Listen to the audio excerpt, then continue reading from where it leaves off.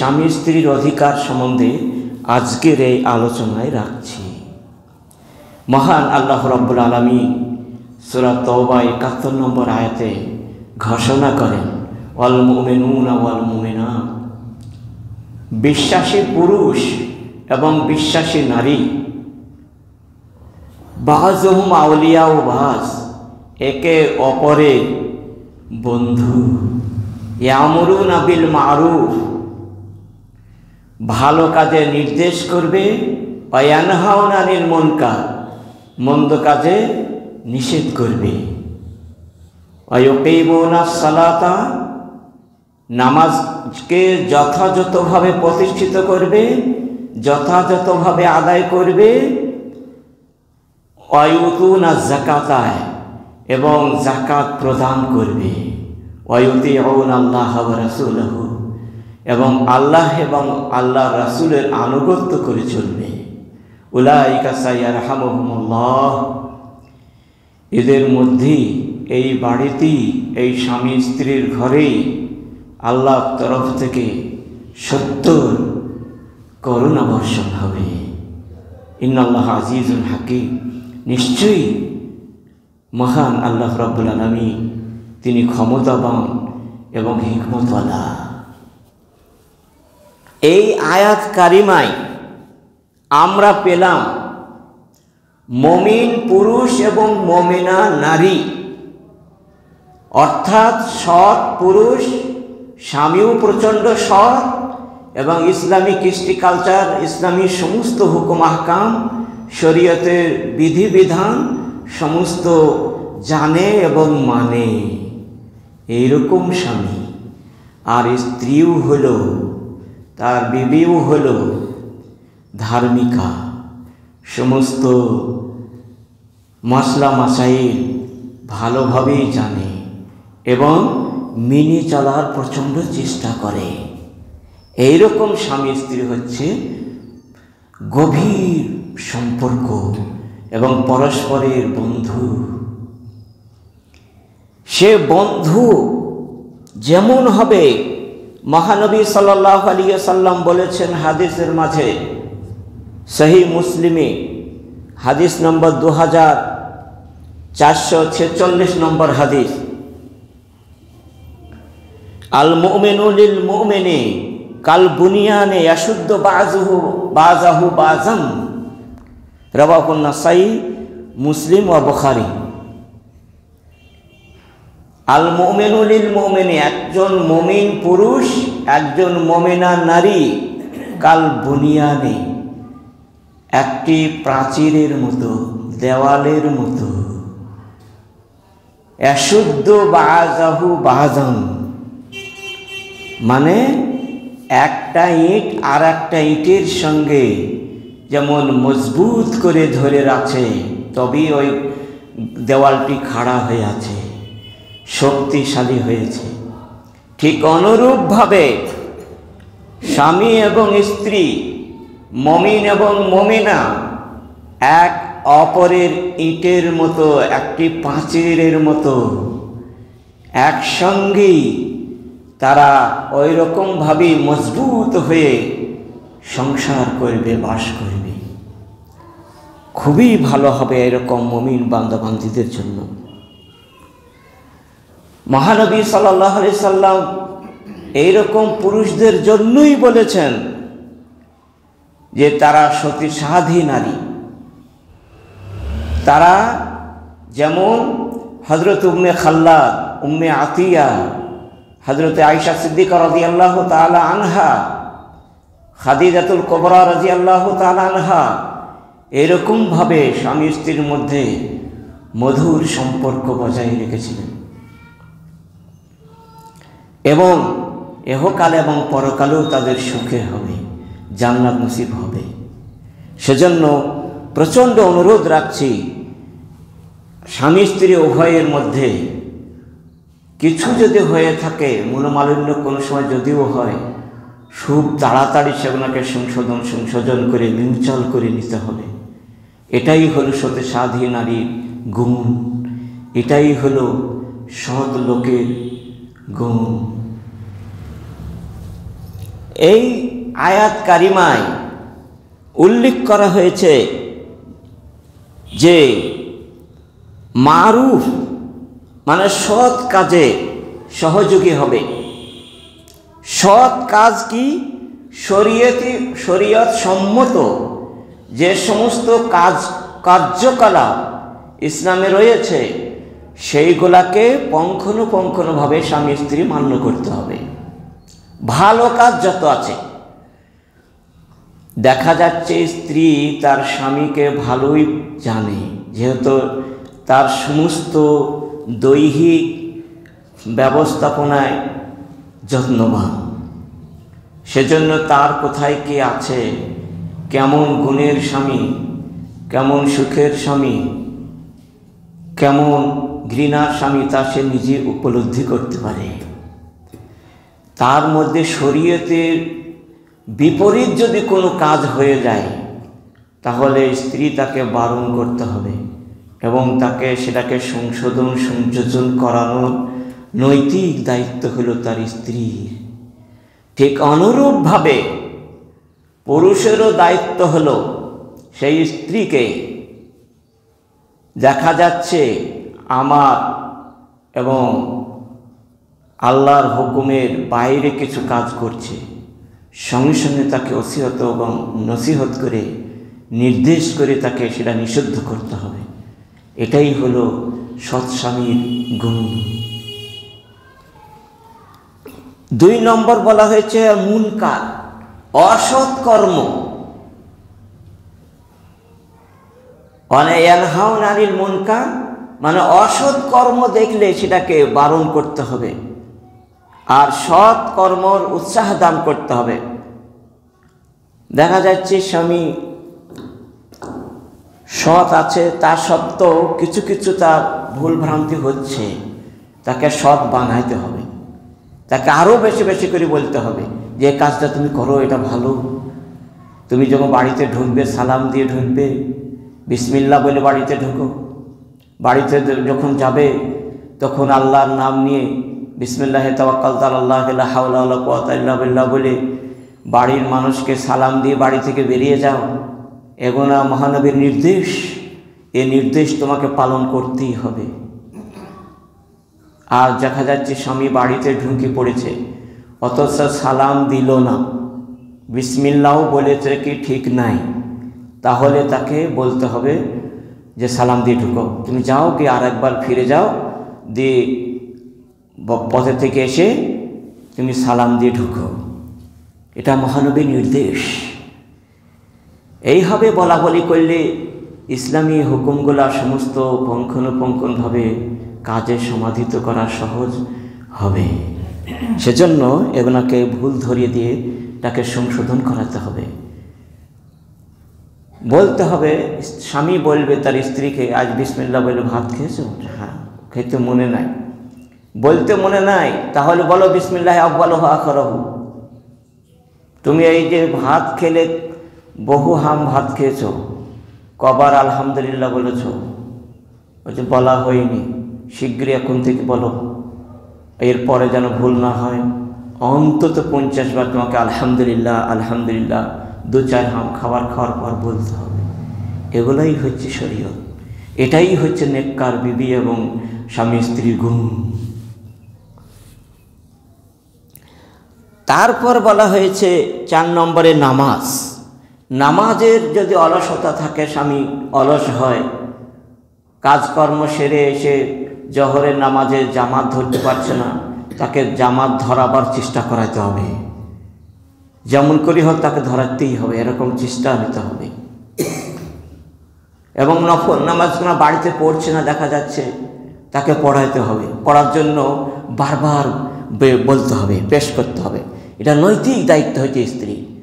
এবং স্বামীর দায়িত্ব হলো, তাকে দেখা যাচ্ছে মসজিদ থেকে জামাত করে নামাজ করে চলে আসলাম, অথচ এখনও কর্মে ব্যস্ত।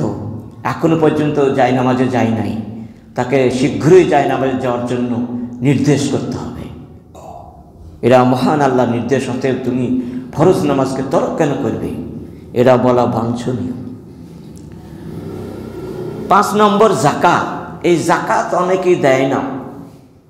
বাৎসরিক আয় ব্যয় বাদ দিয়ে যেটা জাকাত বাহির হয়, সেটা তো শয়ে আড়াই টাকা দিতেই হবে। এটা বাধ্যতামূলক।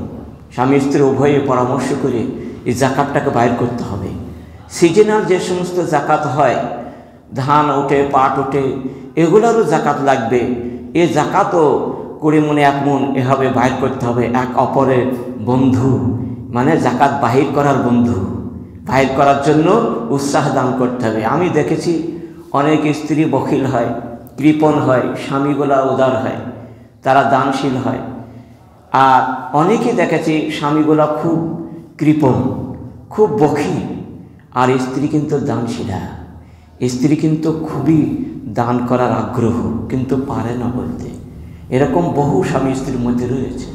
এগুলাকে অবশ্যই যার খাম আছে যার দোষ আছে সেগুলাকে মান্য করে, সংশোধন করে উভয়ে এক হওয়ার চেষ্টা করতে হবে এবং নিজের রুহের মাগফিরাতের জন্য প্রতিটা সিজনে গোপনে এবং প্রকাশ্য উভয় পক্ষের দানটা তাকে করতেই হবে। এটা বাধ্যতামূলক। এটা মালের সম্পদের মধ্যে সেরা ইবাদত। সেজন্য পিছিয়ে থাকা যাবে না, এই আয়াত কারিমাই বলছে। এবং এটা আমাদেরকে মান্য করে চলতেই হবে। ওয়া, তারপর বলা হচ্ছে আশেরু হুন্নাফিল মারুফ সুরা নিসায় চার নম্বর আয়াতে। সুরা নিসায় উনিশ নম্বর আয়াত আশেরু হুন্না বিল মারুফ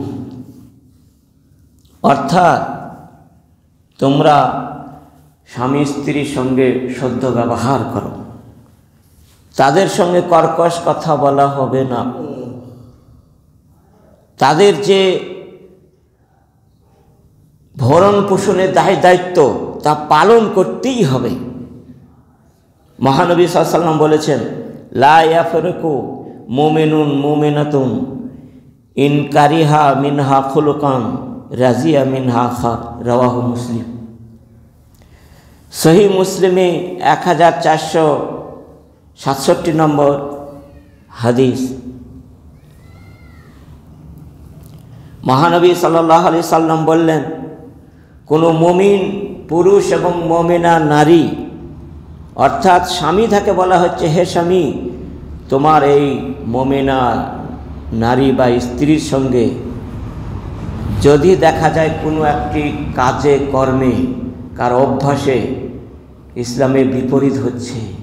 তো আর একটা অভ্যাস আছে তার, এর থেকে খুব ভালো। সেজন্য তাদেরকে ক্ষমা ক্ষমার চোখে দেখতে হবে। এটা মহানবীর নির্দেশ। এই নির্দেশ যদি আমরা পালন করে যাই, তবেই আমাদের সংসার সুখের হবে। নচেত হতে পারে না।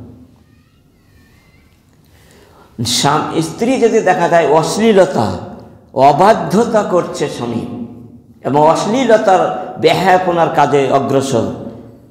তাহলে তাকে বুঝিয়ে যেমন করি হোক তাকে সংশোধন করাইতেই হবে, এটা বাধ্যতামূলক। তাছাড়া যদি খুঁটিনাটি সামান্য কিছু দোষ হয়েই যায়, তাকে ক্ষমার চোখে দেখতে হবে, তাহলে তাদের সন্তান, ফ্যামিলির মধ্যে শান্তি ফিরে আসবে এবং ব্যবসা, ব্যবসায় বরকত হবে। এবং বিভিন্ন কাজে তাদের সহযোগিতা করা হবে। যেহেতু অনেক স্বামী স্ত্রীর মাঝে দেখা যায়, স্ত্রীরা মনে ভাবে যে স্বামীর নাম করতে নয় তাই সরকারি কাজে গিয়ে আমি দেখেছি বহুবার, কোনো মতেই বলতে চায় না স্বামীর নাম। এটা কিন্তু বিয়াদবি করা হচ্ছে। সরকার, সরকারের সহযোগিতা করতে হবে। চটচট করে নামগুলো বলে দিতে হবে। ভোটের ব্যাপারে আমি গিয়ে দেখেছি, কোনো মতেই বলতে চায় না। কিন্তু এই নামটা বললেই আল্লাহর সন্তুষ্টি অর্জন হবে। আর না বললেই আল্লাহ রাজি হবে না। তার প্রমাণ আমি সহি হাদিস অনুযায়ী পেশ করছি। শুনুন।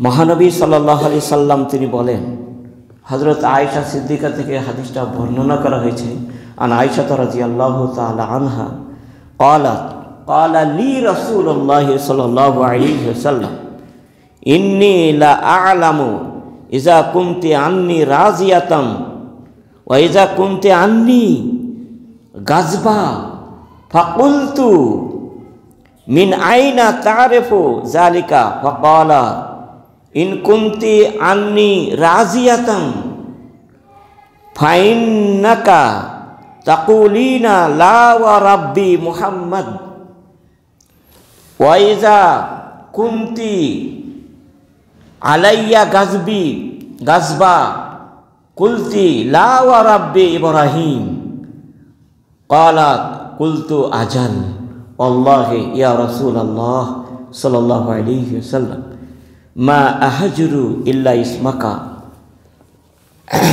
হাদিস সহি, বুখারি, মুসলিম।